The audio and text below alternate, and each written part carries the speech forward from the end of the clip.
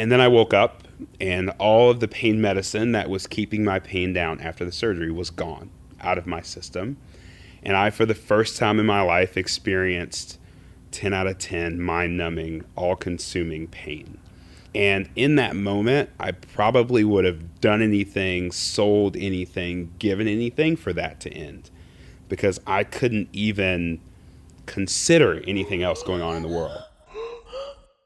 Hey, it's Nate DiSarro, and welcome to Titans of Industry, the podcast where I talk to industry leaders and innovators who are at the top of their game and leading the pack in their fields, uncovering some of the best stories in today's business landscape. In today's episode, I sit down with Dr. Johnathan Goree, the Director of Interventional Pain Management at UAMS. Dr. Goree has a passion for bettering the quality of life for as many people as possible.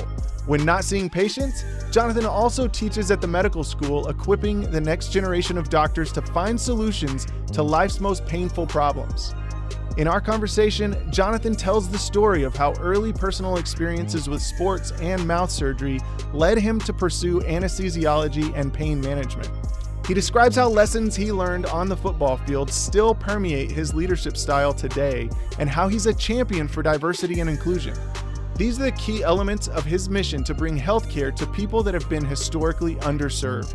Johnathan is also an accomplished speaker traveling nationally to speak about innovative breakthroughs in pain management. Now, let's get to the episode. But before we do, our team at Content Titan wants you to know that we understand the challenges business leaders and marketers are facing right now with moving to a more virtual world. We are experts in taking human connections and turning them digital. From virtual events and video presentations to promotional content and advertising, we are here to help guide you through the process of staying in front of your audience and making your life a little bit easier. People tell us all the time that they are lost and don't know what to say or do, and we exist to help your business continue to move forward virtually. So if you're ready to take your business and content strategy virtual, we're ready to help. Let's get your business back to business. Now, here's my conversation with Dr. Johnathan Goree. Johnathan, uh, we've known each other for a little while, and I appreciate you taking the time to jump on the show here and tell us all things pain management. Um, I don't know what the statistic is, maybe you do, but how many people are affected with pain, chronic pain, every year? First of all, thanks for having me. Um, I'm, I'm a fan of the podcast, and I'm glad to join the group of people who've graced this show. Uh, so thank you chronic pain is is challenging, and it's you know it's, the best way to start is that pain's really a part of life, um, and it's a necessary part of life. It's our messenger system from our body to our brain that something's wrong. You know, if we sit uncomfortably, we start to experience pain to tell us to move. And so when we get back to statistics, I'd start with that everyone experiences pain probably at some point in every single day. Um, chronic pain is really when that pain becomes dysfunctional. Um, and our body sends pain signals past the amount of time that it takes for us to either fix the problem or heal. And the statistics vary, but um, I think you can safely say that a third of people are in the country are experiencing some sort of chronic pain every single day. And I, I would even include myself in that as I'm starting to get older. Um, you know, I have a little bit of back pain here and there that comes in. I call I call my back pain Charlie, and Charlie comes to visit me. You know, probably you know a couple times a week. Well, I can completely empathize with that. I'm the same way. I think when I hit probably around the age of 30, 31, I started to notice these little things that just I had never noticed before, pain wise, just discomfort. And then I didn't do anything about it. Gradually, kind of get a little more uncomfortable, and then you start not sleeping as well. And then, you know, I would assume, like you said, a third of the population experiences something like that. At what point did you decide this is the field I want to go into? This is what I'm going to do is help people manage their pain. How did you get to where you're at? Yeah, uh, there's there's a, a long and a short. I'm going to go with the long, and feel free to cut me off if I get a little long-winded, as as they used to say. Um, you know, I I played a lot of sports growing up, and I, I, played football in high school and wanted to play college football, but unfortunately, uh, you know, the, the maker decided I wasn't going to be tall enough to be an NFL defensive end, even though I'm pretty sure I had the talent. I'm just going to throw that out there. Um, but I, I decided I wanted to be around sports, and and I was a smart kid. I was a nerd, and so how can I be around an NFL team? Without being an NFL athlete. And I, I watched some movies, and, and, any given Sunday, there was a doc around the team, given he was a villain, so I didn't want to be like him. But uh, I was like, ah, I can be a doctor. And so that made me decide that I wanted to go to medical school. So, you know, I, I wish I could say that, you know, from the age of 10, I had a physician mentor that I followed, but honestly, it was me, my ego and wanting to be around sports. Um, when I got to medical school, I tried all the different types of medicine. And I realized I didn't love surgery. Most of the docs around sports are orthopedic surgeons. Um, but I enjoyed what I missed most about sports was that game time feeling of it being fourth and one and you having to make a play to, to win the game. And I experienced that most with anesthesia. So ended up being an anesthesiologist because anesthesiologists are professionals at saving lives in kind of very dire situations. Um, trained as an anesthesiologist, and what I realized, and I had a specific moment when my path changed, and it was honestly, I had a surgery. Um, I had my wisdom teeth cut out because they were impacted and the surgery went well and i was in the recovery room and i was having severe pain. And the nurse came over and gave me some fentanyl which fentanyl is kind of in the news as a drug of abuse but it's commonly used during surgery. And after about 30 seconds after getting that medicine i don't remember anything. So i went what we call apneic so i basically overdosed stopped breathing, um, was completely out. They called a code, as we say in medicine, and I was given naloxone or Narcan, which is kind of known in the news as the reversal agent for pain medicine. Um, and then I woke up, and all of the pain medicine that was keeping my pain down after the surgery was gone out of my system. And I, for the first time in my life, experienced 10 out of 10, mind numbing, all consuming pain. Um, and in that moment, I probably would have done anything, sold anything, given anything for that to end because I couldn't even consider anything else going on in the world. All I could think about was the pain going on in my mouth. And I was fortunate enough that, you know, 30 minutes later that wore off and they were able to give me medicine and my pain was treated as I continued my career, I realized two things. And that's one that there are people all over this country that experience that level of, level of pain every moment of their life. And that to me was terrifying and I wanted to help them. So that was the first thing. The second thing I realized and and this probably really is the reason for my two major interests is that there are a lot of people who look like me um, due to access reasons, uh, implicit bias, social reasons, who don't have access to high quality health care to get their pain treated. Um, and I wanted to help them. And so um, after finishing my anesthesi- anesthesiology residency, I uh, did an extra year of training uh, at, at Emory in Atlanta to really focus in on those two things. How can I help people who have severe complex chronic pain? And also, how can I help underrepresented minority groups who don't have the same level of representation in medicine? And then I was recruited here to uh, back home to Little Rock at UAMS to start my practice.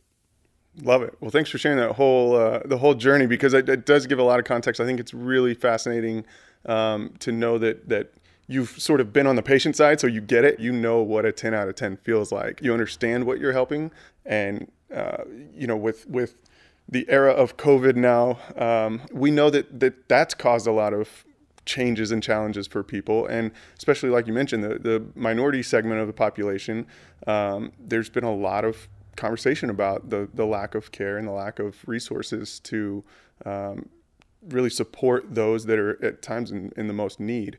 So, how has that affected what you guys are doing now in pain management? Um, has there been any new discoveries that the virus has has added to your plate, uh, or is that not really anything that you have to worry about?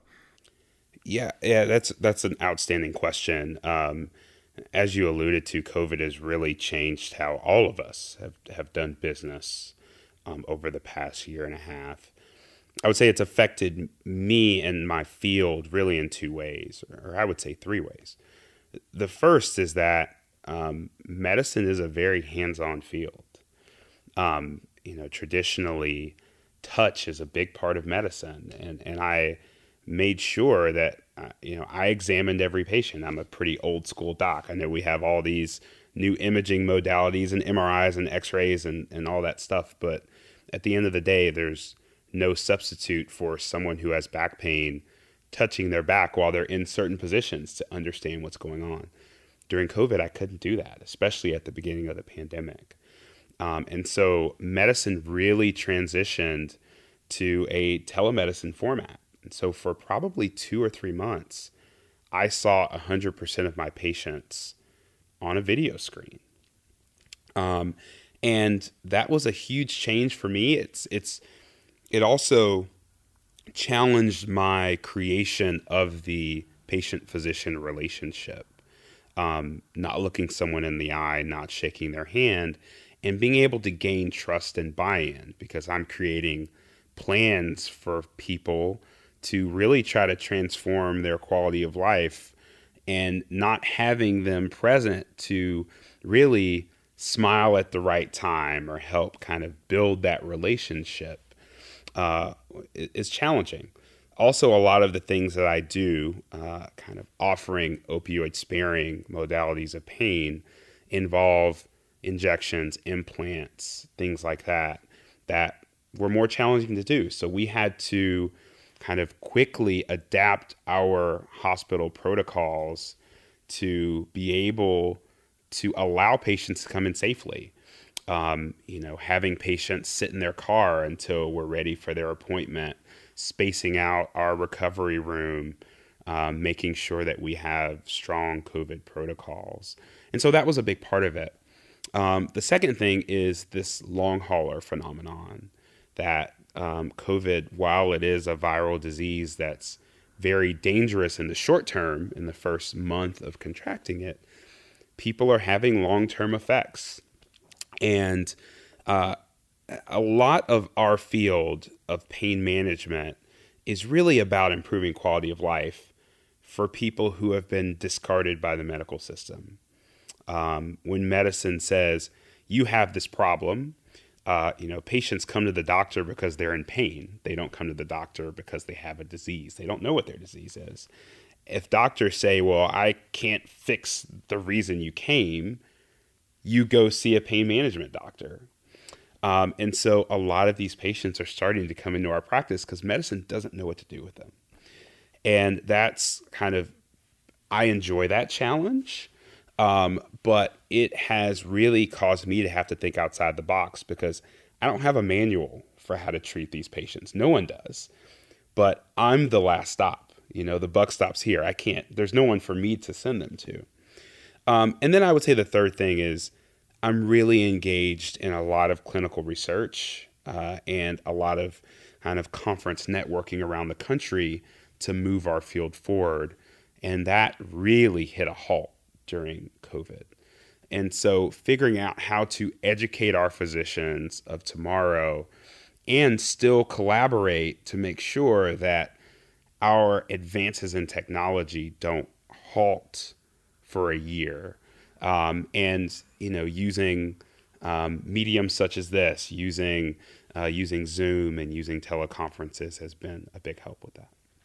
So we've talked a little bit about your your travels, your your speaking around the country, your uh, involvement, and like you just mentioned, um, and of course you talk as though someone who's been doing this for 30 years for somebody who's been in the field for a long time because you're educating other physicians you're you're leading the field um, but you're under 40 years old um, and you're doing things that uh, most people probably aren't doing. A lot of people enter the workforce and they find their niche and they coast. They just kind of go through the day to day and make a living. And that's nothing wrong with that.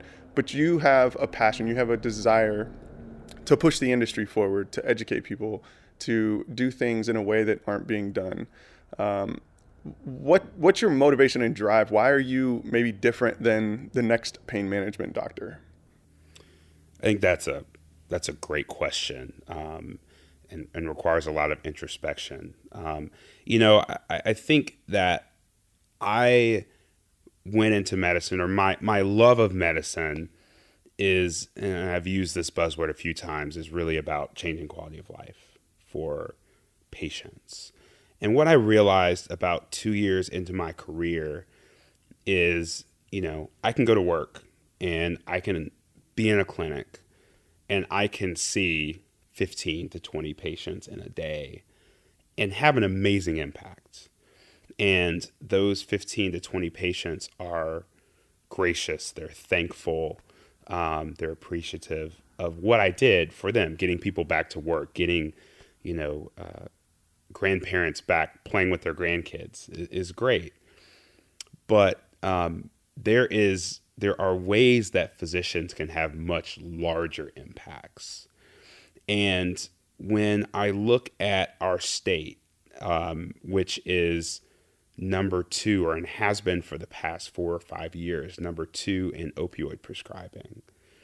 Um, and when I look at a rural state that doesn't have access to cutting edge, high quality pain care in McGehee, Arkansas, Alma, Arkansas, and the four corners of our state, or even honestly in Little Rock uh, before we started building our clinic, compared to the places I trained, Manhattan, Atlanta, where you could throw a rock and hit someone who's a well trained, uh, fellowship trained pain physician.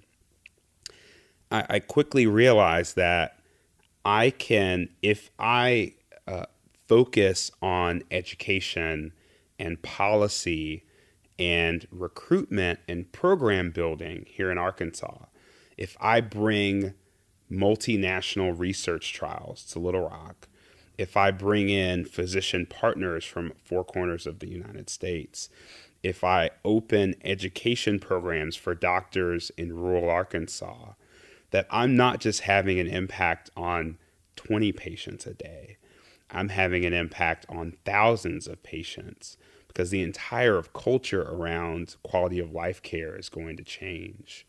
And once I realized that, it was a no brainer. And so um, I still see patients. Um, I, I still, you know, I'm wearing scrubs right now. I know no one can see me, but, you know, this afternoon I'm going to do some procedures on patients to help with chronic pain. Uh, but I only see patients about 50% of the time. And the rest of my time is devoted to really educating our state, educating the physicians of tomorrow, educating the physicians of today, and um, working on policy for UAMS and for, for the state, um, and bringing in high quality research and partnering with other physicians around the world to advance pain care and make sure that we have access to that right here at home. It's incredible. Um, you mentioned that a lot of what you do, it's it's sort of the the the buck stops here. There is no other option for your patients, um, and that at times you've got to figure it out. There is no manual. There's no solution. I would assume at some points there's there's times in your career in your practice that those exercise, those those uh, results end in not being what you want them to be. Uh, I think anybody who's successful has always experienced some level of failure. Are, are there any specifics that come to mind when it comes to like something you tried that didn't work, but that ultimately led to better outcomes down the road? Like what what have you failed at that ultimately helped helped you succeed? Yeah, um, I can I can I'm to talk more generally, and then I'll get into a specific specific example it's so so most of the patients that we see as i've said medicine's already failed them. A lot of times other physicians will question the research in our field not realizing that that the 10% of patients that you couldn't fix are 100% of our patients. So that leaves us in a little bit of a lurch because um, we are trying therapies on folks who have who are the exception to the rule for every other medical therapy. Um, and we don't always we don't always do great. We don't always make the change we desire. And some of my most challenging conversations is to sit down with someone and say i don't think that we can make a real dramatic change in the source of your discomfort.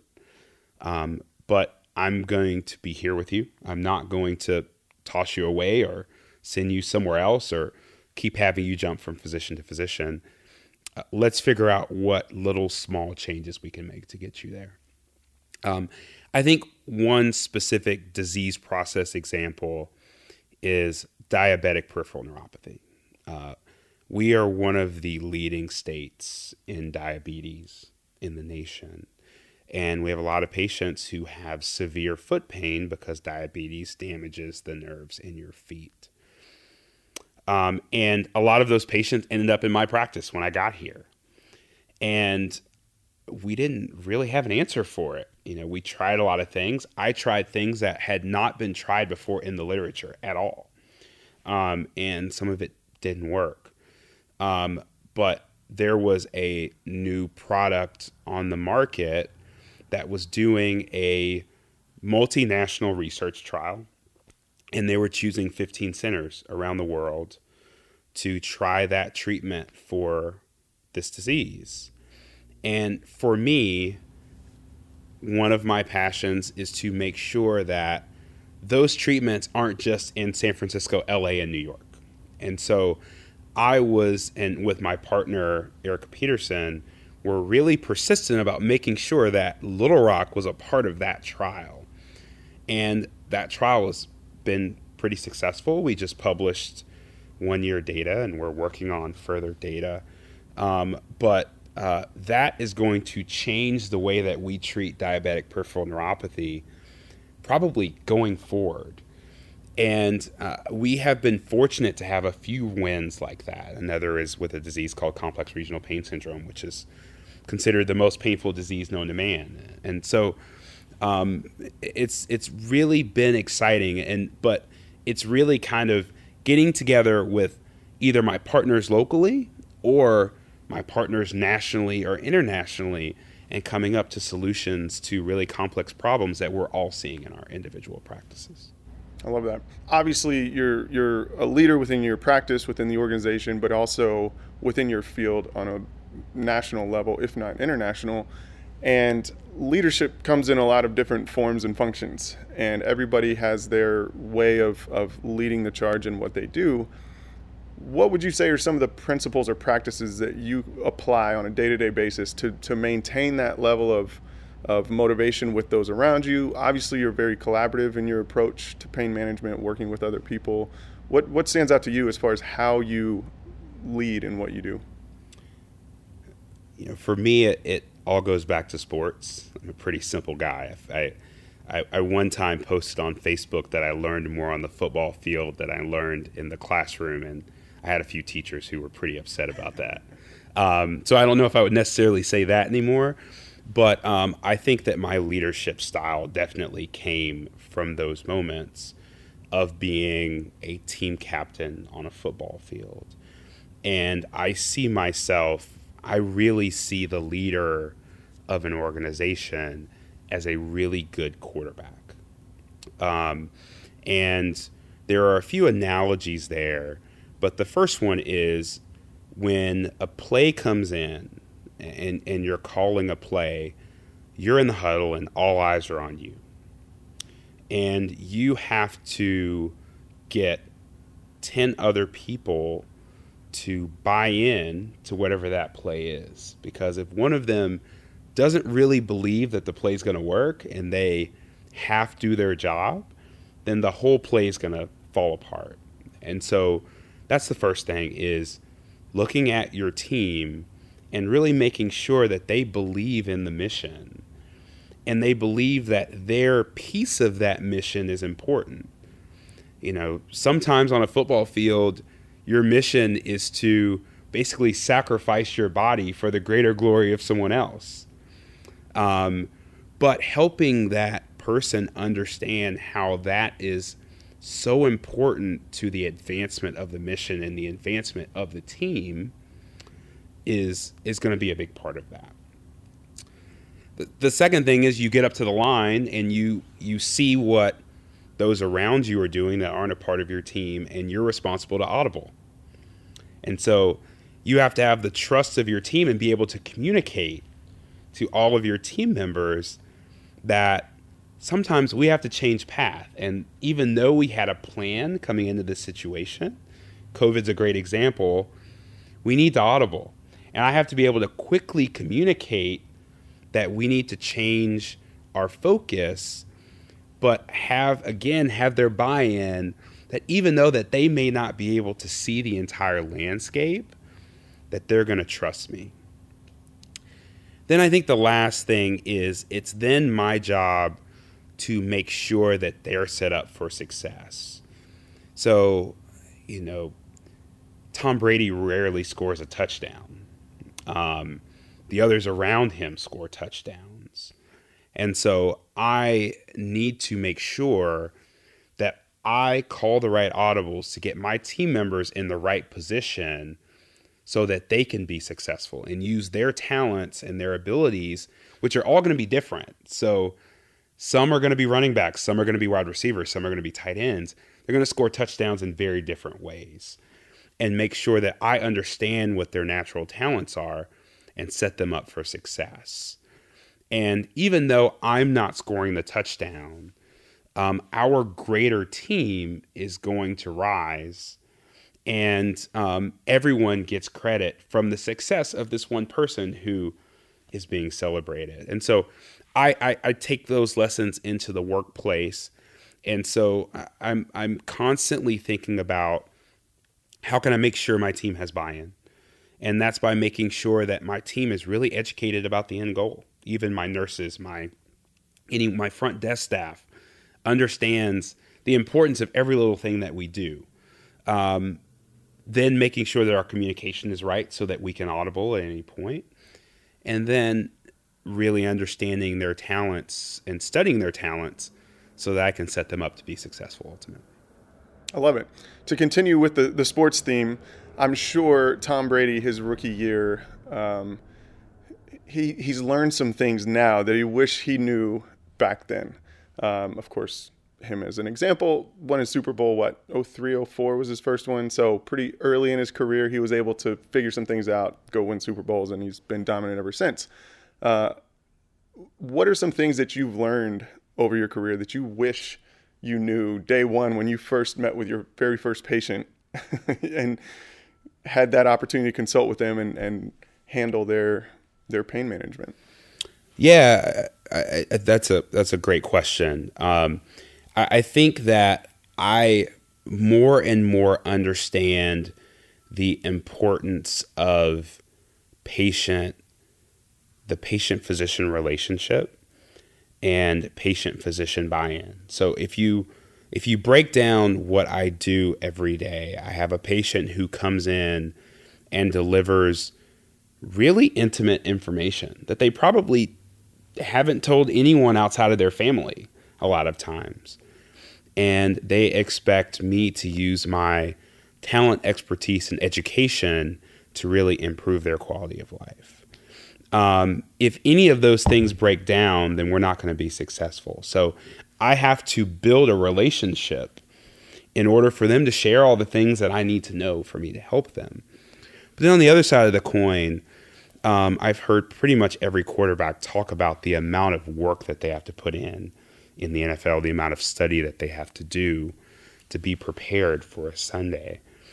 Um, I've done a lot of education. You know, I did did 13 years of post high school education before I earned my first paycheck as as a physician, but that's not enough.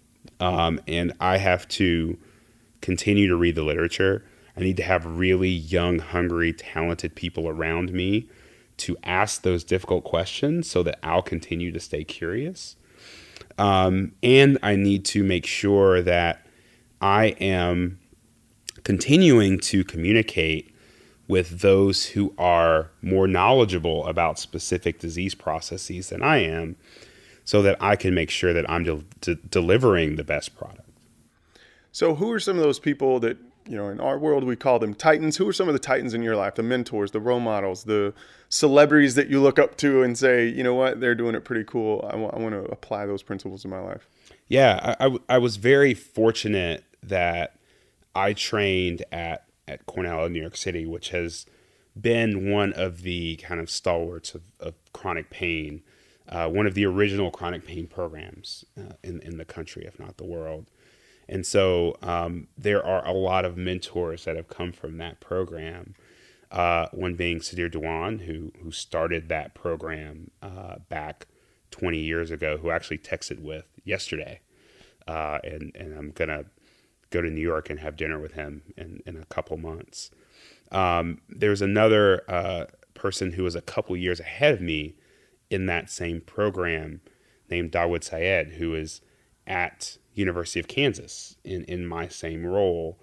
And as I started this program in Arkansas, he was doing the same thing in Kansas, but was kind of two years ahead of me. So having someone who had literally just gone through the ch- every single challenge that I had gone through um, was e- extremely helpful.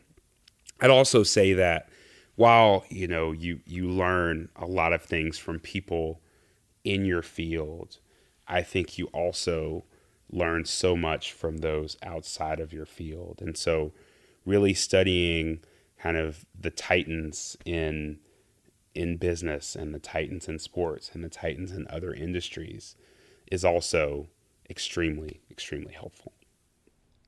I 100% agree with that.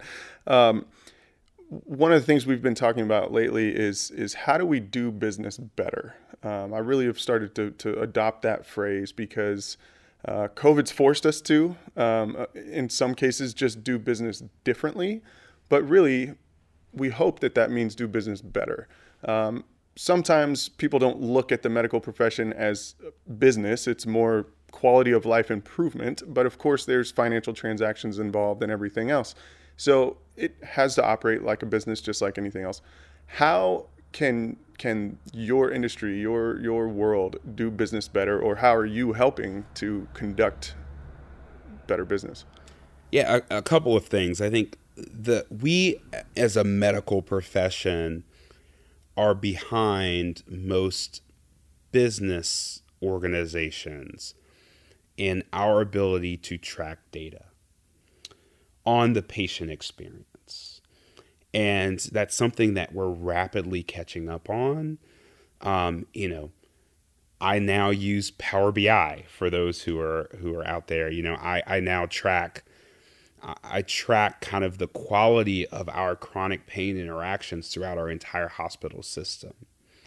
Um, and I think that physicians have been a little resistant to that because medicine we think of as such a niche and nuanced interaction and that you know the one thing that I've, I've heard many old physicians say the the one difference that separates medicine from other fields is that the customer is not always right um, but kind of the new school thought of medicine is even though the customer may not necessarily understand what's best for their long term health outcomes.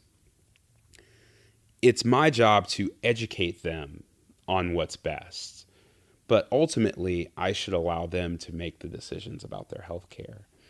And I may not be the best physician for them because we may have a disagreement and they, you know, we may have to change relationships, which is true of any business. Um, but then we should figure out how to best provide that service to the patient and make sure that the patient is satisfied with the quality of their care. And so, really diving into what is good quality care and tracking those metrics is kind of something that we we do now at, at UAMS and I do as a part of our clinic, and and I think is really becoming kind of the new wave wave of medicine. I love it. Um, part of that whole thing, as you mentioned, is customer experience or patient experience. And every business, every organization, if there's a dollar exchanged for a service or product, there's an experience to be had. And I think when it comes to medicine, like you said, it's it's one of the few, if not the only industry out there that the patient's not always right. You know, when you think of the power company, it's it, it's almost you know providing electricity into a home or office is in some regards equally as important, but it's not 100% necessary to have power. Quality of life is a whole lot better with it, just like medicine. And at some point, you have to realize it is up to the customer or the patient to have an experience that is worth going back to or worth telling somebody else about.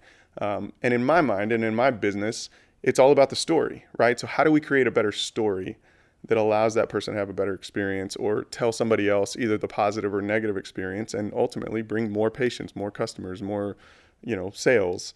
How do you look at stories and the outcomes of your patient experiences as the way you're doing your job, you know, because ultimately you want to hear these stories, right? I mean, to us, stories matter. Stories are important.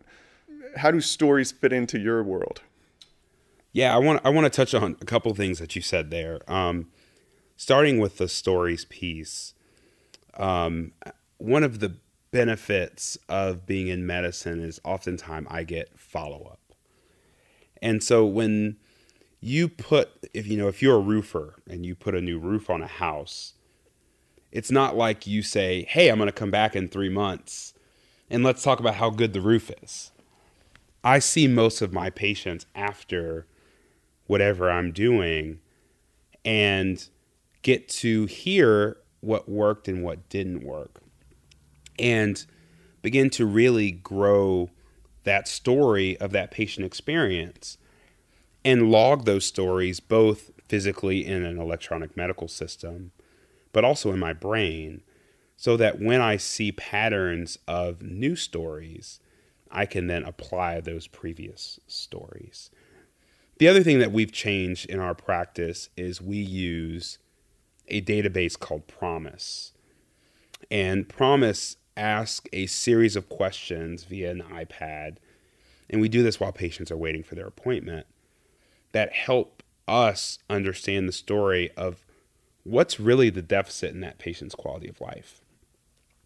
Patients come to us because they're in pain, but sometimes the deficit may be that they're depressed or they're not getting enough sleep.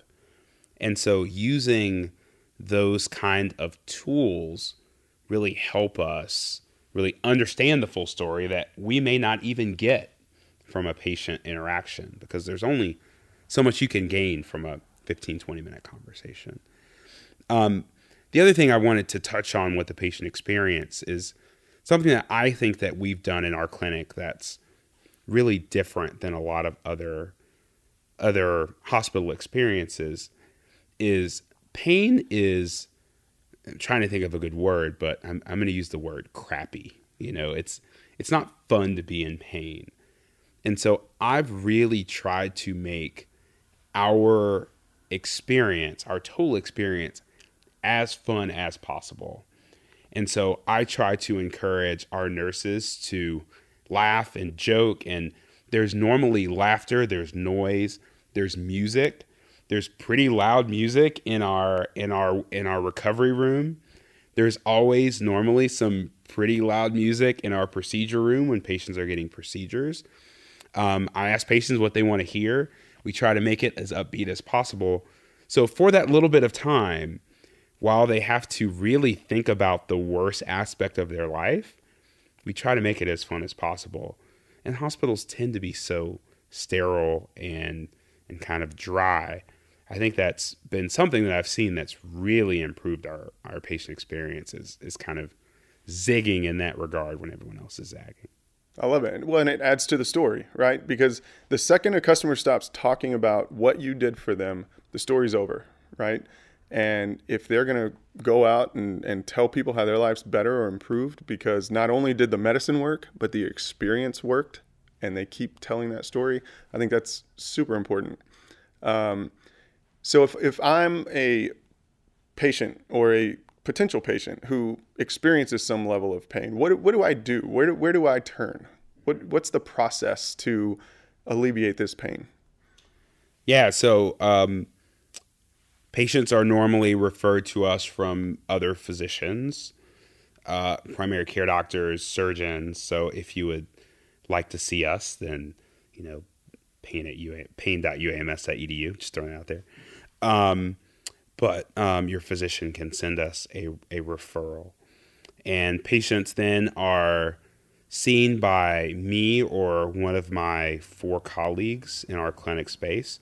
And it's really a conversation about what you've gone through um, and how we can.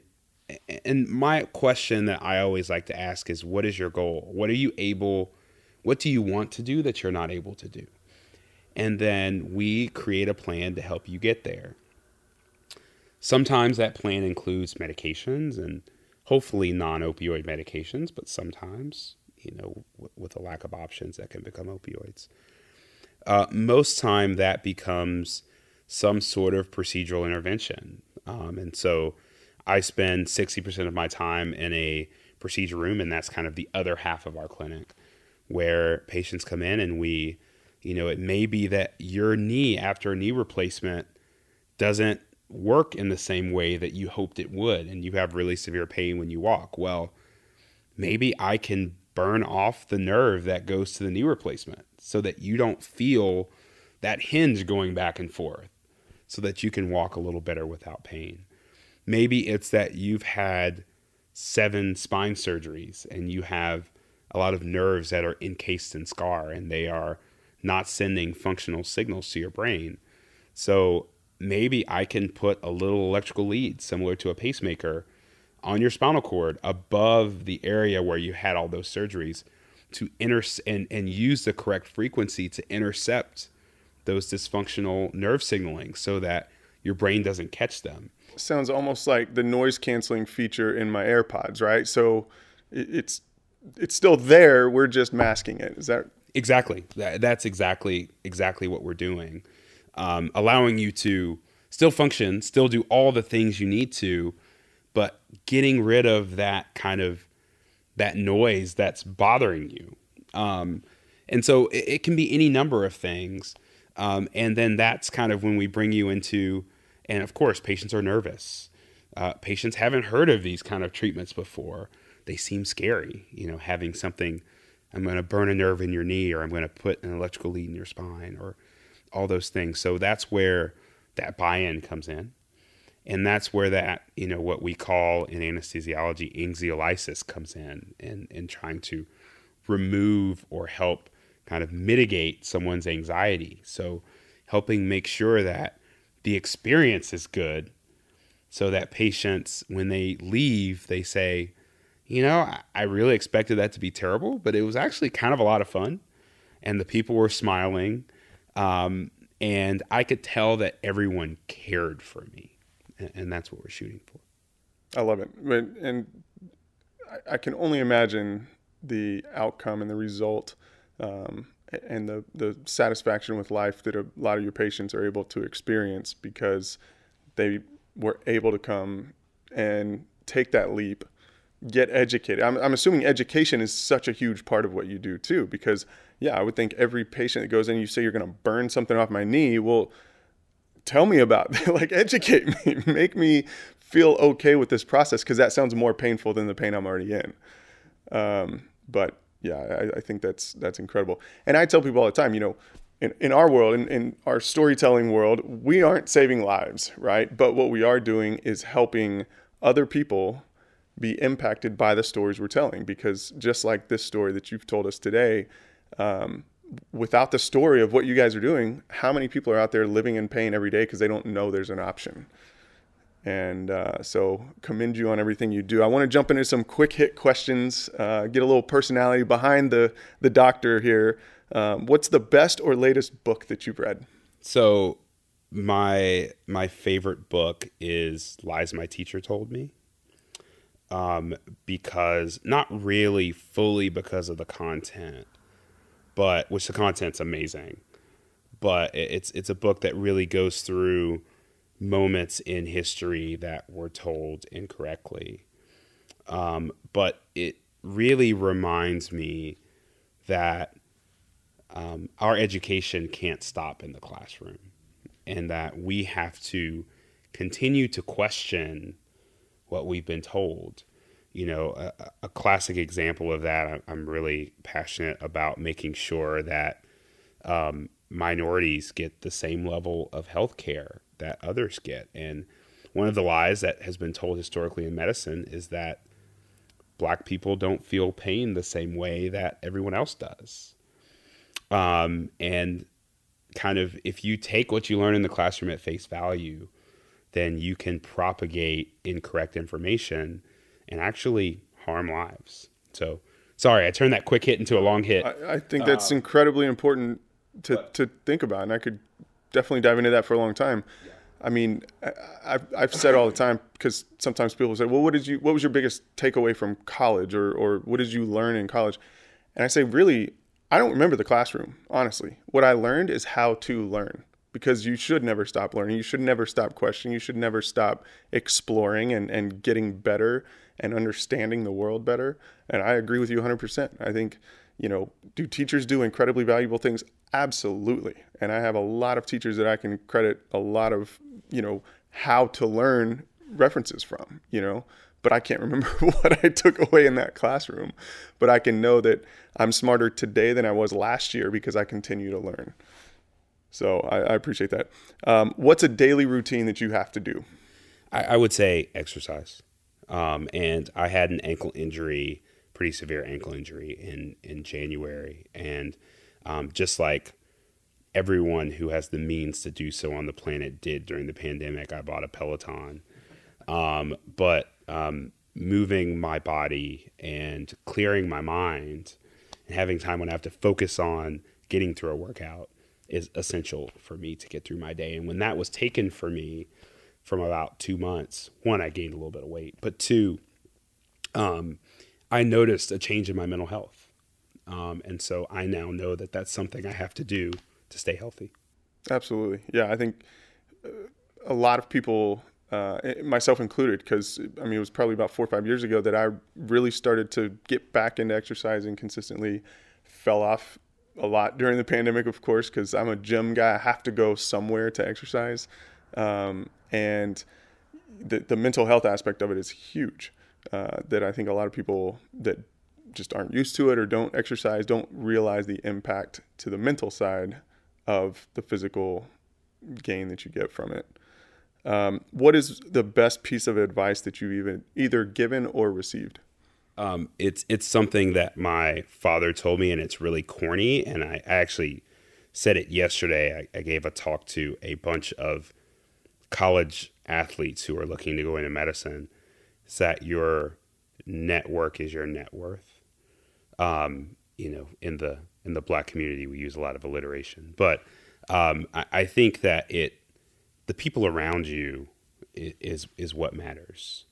Um, and a lot of my success has been because I've been fortunate to have really talented people around me to keep me focused and to make sure that I am doing all the things that I need to be successful and I'm reading the right things. I'm continuing to work out.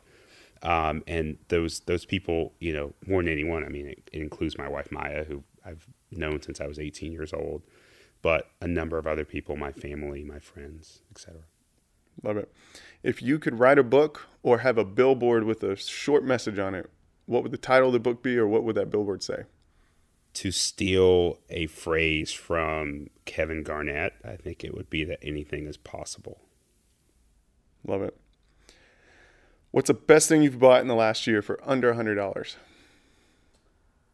So I'm going to nerd out for a second. As you can tell, I'm not, for folks listening, I'm not good at quick hits. So I, am sorry. Love it. Um, really, two things. Um, I have really, my, my wife is vegan. And right now, for the past three months, I've actually been uh, become vegan. Um, and, and so we have, because of the pandemic, really cooked a lot at home. And so we have every single cooking gadget known to man right now. So the first one is a coal chimney because I have Uh, I grill and now smoke, and I make the best brisket, even though I can't eat it anymore. But um, switching from lighter fluid to lighting my own coals has been a huge change. So that's one. The second is a serrated bread knife, an actual bread knife. Um, I, my wife has made me realize that you need more than one knife in your house, and so now we have like all the super nice, you know, all the super nice knives. And I was like, oh, when you cut bread, it's actually a clean slice if you use the right knife. Got it. So that's something I learned during the pandemic. Obviously, this is something that probably everyone else listening already knew, and I'm a Neanderthal and I did not know. But when you cut bread with a steak knife, it doesn't come out as a clean slice.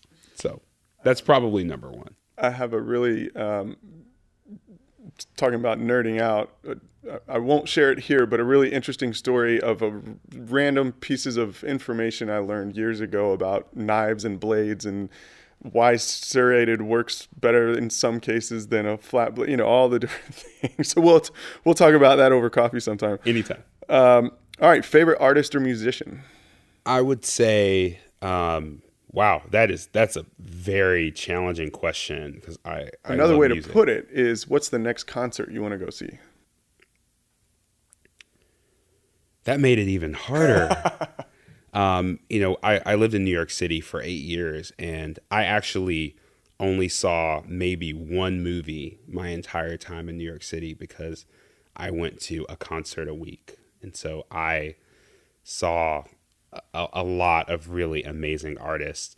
Um, you know, the the best concert I ever saw, and this probably is my favorite artist, is Robert Glasper.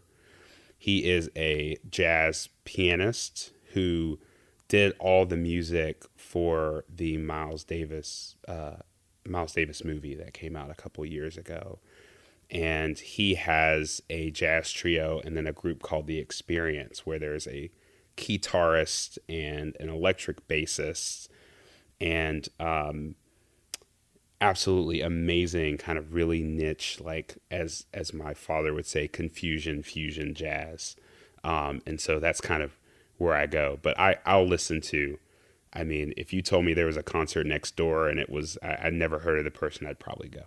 Love it. Yeah, I love like live music, and the guitar is an underrated instrument that I think needs to make a resurgence completely underrated. All right, you've already alluded to this, but maybe you have a different answer. But favorite food or restaurant? You, you said you make a really good brisket. So I make a really good brisket, but I am I'm vegan right now. Um, so right now, my favorite food is probably Beyond Burgers.